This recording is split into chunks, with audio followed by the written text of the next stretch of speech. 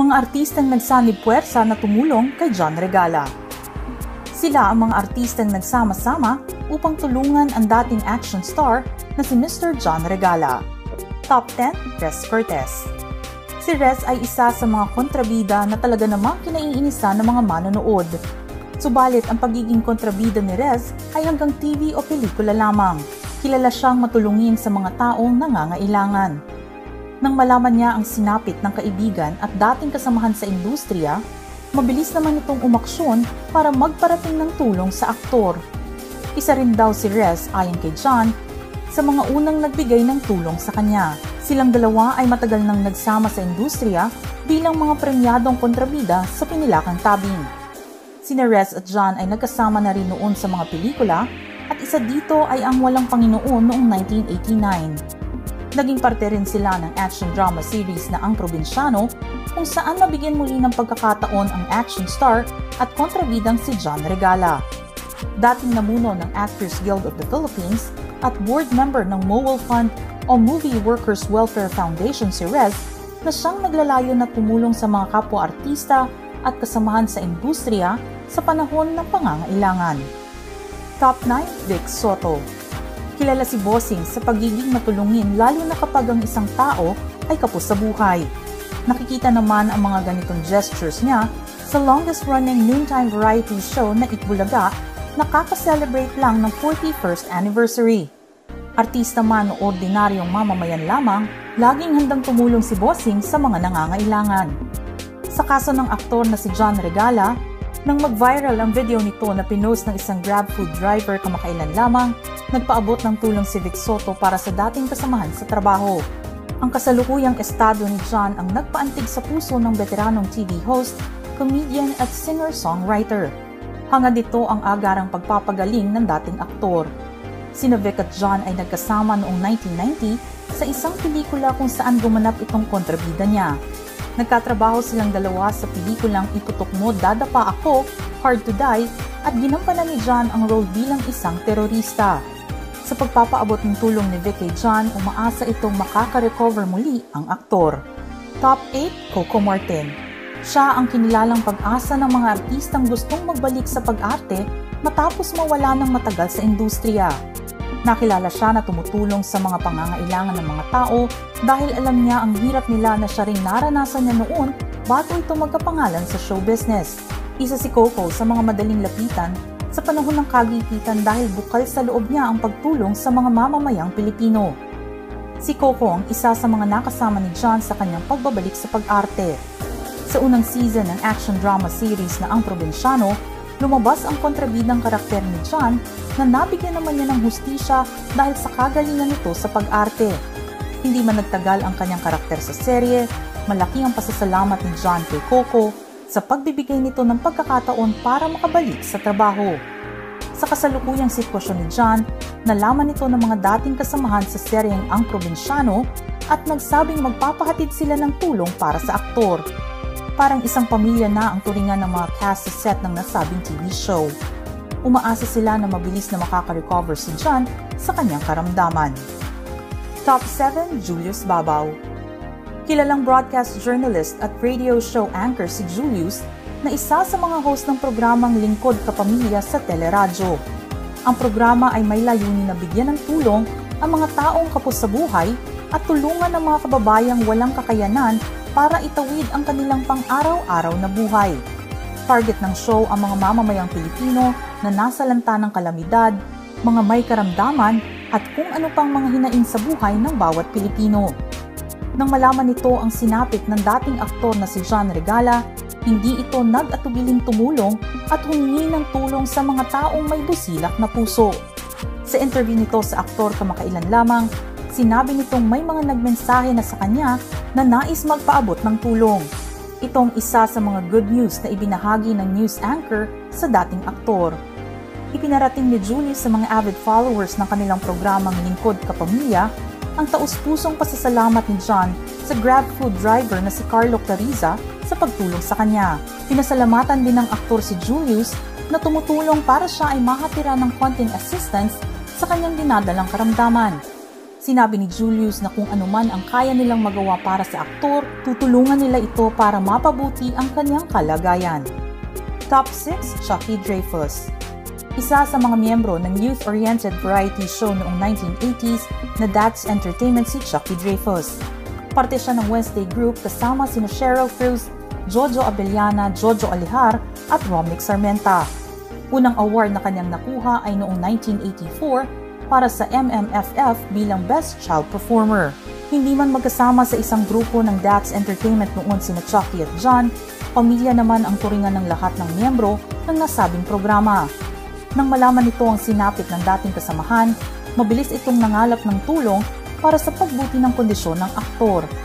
Kasama niya sa mga unang rumisponde para magbigay ng tulong ang kapwa nito artista na si Nadia Montenegro at FDCP Chairperson Lisa Dino Segura. Sa tulong naman ng entertainment columnist at matalik na kaibigan ni John na si Aster Amoyo, binuksan nila ang Gava Gives Assistance account para sa dating aktor. Approval na lamang ang hinihintay nila para sa nasabing account at pagkaraan nitong maaprubahan, lahat ng tulong na gustong ipahatid sa aktor ay maaari ng idiretso sa nasabing fundraising account. Top 5 Ice and Liza Dino Segura. Ang Film Development Council of the Philippines o FDCP ay isang government-backed lead agency na naglalayon para sa mga pelikulang Pilipino na magkaroon ng maayos na representasyon sa ating bansa at abroad. Isa sa mga misyon ng grupo ang palawigin ang pagiging malikhain ng mga artistang Pilipino at makilala ang kanilang kagalingan. Suportado rin nila ang mga artista at pelikula na maprotektahan ang pamanang kanilang iiwan sa lipunan. Ang chairperson ng FDCP at asawa ng singer na si Ay Sigera na si Lisa Dino Sigera ang isa sa mga unang nagbigay ng tulong para sa aktor na si John Regala. Nang malaman niya ang sitwasyon nito, nakipag-usap ito sa iba pang mga artista tulad ni Nadia Montenegro at itinakda ang kanilang pagbisita sa aktor. Nasa pangangalaga ito ngayon ng Iglesia ni Cristo at tumutuloy sa isang shelter na pagmamayari ng INC. Sa pagbisita ni Liza at Nadia sa aktor, isinama nito ang isang doktor mula sa Volunteer Corps PH upang mabigyan nito ng check-up at matignan na rin ang kondisyon nito. Sinabi ni Dino na mula umpisa, hindi siya huminto na tulungan ng film industry at ang bansa. Ngunit hindi pa sapat ang mga iyon dahil nakita niya na marami pang dapat gawin para matulungan ang lahat ng mga sektor at mga trabahador nito. Top 4, Robin Padilla. Aktor, direktor, producer at screenwriter. Iyan lamang ang ilan sa mga naging kontribusyon ng tinaguriang isa sa mga bad boy na Philippine movies na si Robin Padilla. Tinawag din siyang action prince at prince of the Philippine action movies dahil sa pinakita nitong galing sa pagiging isang action star. Ginawa niya ang mga pelikulang Anak ni Baby Ama, Grease Gun Gang, Bad Boy Parts 1 and 2 at marami pang iba. Taong 1986 naman na magkasama sa pelikulang Bagets Gang sina John at Robin. Sa mga hindi nakakaalam, related sa isa't isa ang mga action stars na ito. Ang ama kasi ni John Regala na si Mel Francisco at ama ni Robin na si Roy Padilla ay magpinsan. Sa makatuwid, pamangkin ni Robin si John Regala. Hanggang sa ngayon naman ay hinihintay pa ang pagtulong ni Robin sa kanyang pamangkin. Inaabangan ng karamihan ang tulong na ipaaabot nito sa dating kasamahan na action star. Top 3, Nadia Montenegro. Isa ring miyembro ng That's Entertainment si Nadia Montenegro. Parte siya ng Thursday Group kasama si Navina Morales, Smokey Manaloto, Jean Garcia at Kimpi De Leon.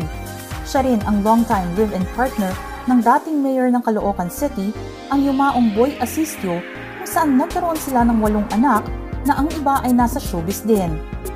Kilala rin si Nadia bilang isa sa mga mabilis rumispondi sa mga tulong na kailangan ng mga dating nakasama sa showbiz o di kaya ay sa mga ordinaryong mamamayan ng bansa.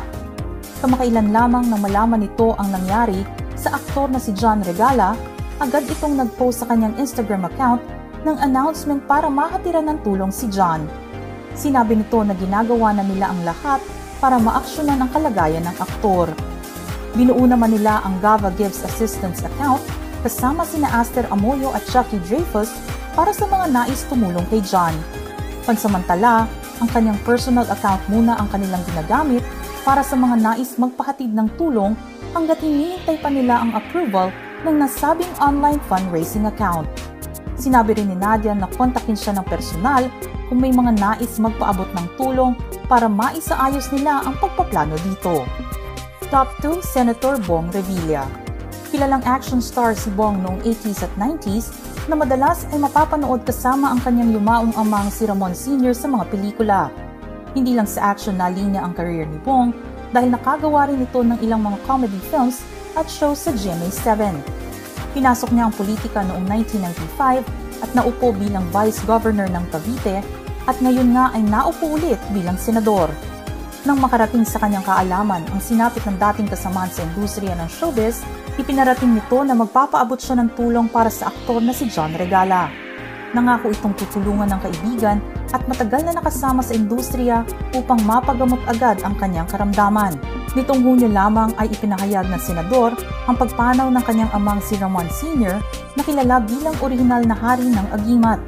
Siya rin ay naupo bilang senador ng bansa noong 1992 hanggang 2004. Sa pagpanaw ni Don Ramon, ipinasa na niya kay Senator Bong Revilla ang agimat na matagal na nitong tangan. Top 1 Rafi Tulfo Sikat na broadcast journalist at TV host si Rafi Tulfo. Nakilala ito sa pagbibigay ng tulong sa sino man ang nangangailangan nito. Marami na rin ang natulungan niya pati ang TV show nito na Idol in Action. Dito lamang nakarang araw, naging viral ang litrato ng action star na si John Regala na nanghihingi ng tulong sa isang grab food driver. Minabuti naman ng team ni Rafi Tulfo na makapanayam ang dating aktor upang kamustahin ang kalagayan nito. Dahil sa sinapit ng aktor at sa kwentong narinig ni Rafi, naantig ang kanyang puso at mabilis na nagpaabot ng tulong. Nag-pledge ng 100,000 pesos ang broadcast journalist na maaaring magamit ni John sa kanyang pagpapacheck up. Nagsabi pa si Rafi na magbibigay ng groceries at mga gamot para matustusan ang medical needs ng aktor. Hinikayat din ng TV host ang mga social media users at iba pang kasamahan na magpaabot ng kahit na konting tulong para kay John. Mga ka-showbiz peeps, ano ang inyong opinion sa ating listahan ngayon? May mga nais pa ba kayong idagdag dito?